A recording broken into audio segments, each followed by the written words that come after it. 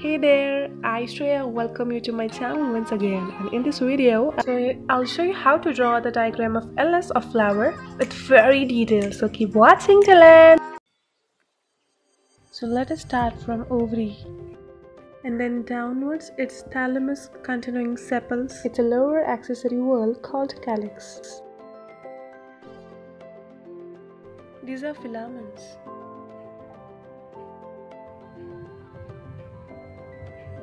While these are anthers. Anthers and filaments constitute stamen, and these are petals. Petals constitute the upper accessory whorl of the floral organs called corolla. Corolla is brightly colored to attract insects for pollination. In a petal, the lower part is usually narrow and is termed as club, whereas the expanded portion of the petal is called limb. This uppermost part is stigma while continuing downwards to style and then ovary. Inside the ovarian cavity is ovule.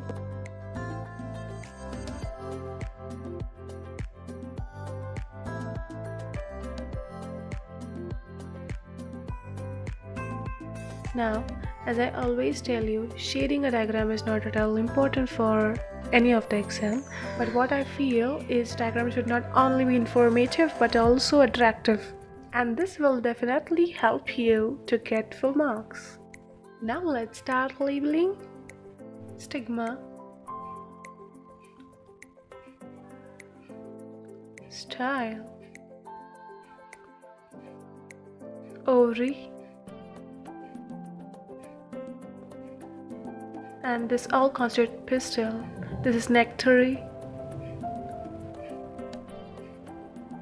This is pedicel. Don't worry about the functions. If you want, I'll provide you at the end of the video all details.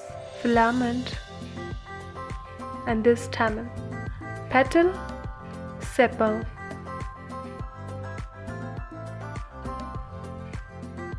Receptacle.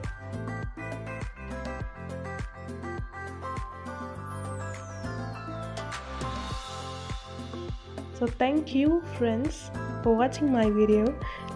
Hope it would help you in your studies.